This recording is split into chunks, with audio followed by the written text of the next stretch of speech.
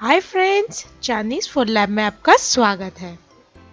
आज हम बनाने जा रहे हैं कड़ी पत्ते का पाउडर वो बहुत सारी चीज़ों में यूज़ होगा। ये देखिए, यहाँ हमने ढेर सारे कड़ी पत्ते ले लिए हैं और इसे हम माइक्रोवेव में रख रहे हैं। उसमें microwave power level high select करके सिक्स मिनट के लिए टाइमर रखना है और प्रेस से स्टार्ट बटन हो जाने के बाद इसे निकाल लिया। ये देखिए बिल्कुल सूख गए हैं।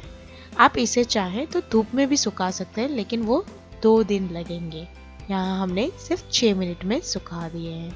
करी पत्ते का पाउडर बहुत सारी जगह पे यूज़ होगा और इसके बहुत सारे बेनिफिट्स हैं। अगर सब्ज़ी में करी पत्ता अकेले डालोगे तो सिर्फ़ आप निकाल कर खाओगे, लेकिन ये पाउडर बना के डालोगे तो आप इसे खा भी पाएँगे।